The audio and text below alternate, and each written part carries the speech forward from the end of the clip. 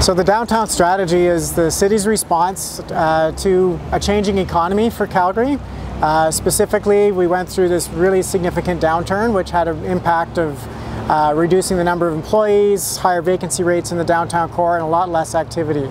So Council's asked us to work together with our partners at Calgary Economic Development and the Calgary Municipal Land Corporation to find a new way forward to reposition our downtown for success in a new economy. My favourite is probably Princess Island Park.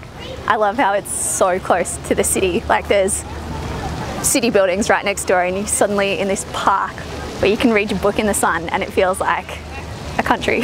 On stat holidays, downtown's a place to be, whether it's East Village or Princess Island or, or St. we frequent St. Patrick's Island quite often. So there's, there's a, uh, a good variety of uh, urban experience in the downtown.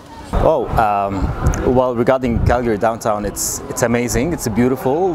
Like everything here, the building, the architect, and even, even people here are really amazing. I think the people make it, and the cultures. Well, I think the, I think the city administration has taken some lengths to in, integrate uh, initiatives like the New Rivers District Master Plan, exhibit some more comprehensive thinking about how to layer local community within the city at large.